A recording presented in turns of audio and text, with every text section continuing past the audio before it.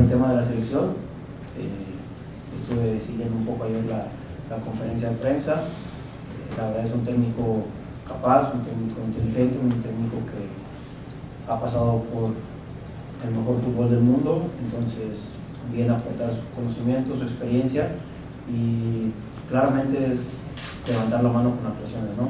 Como lo he dicho en otras ocasiones, si le va bien a Tijuana, nos va bien a todos.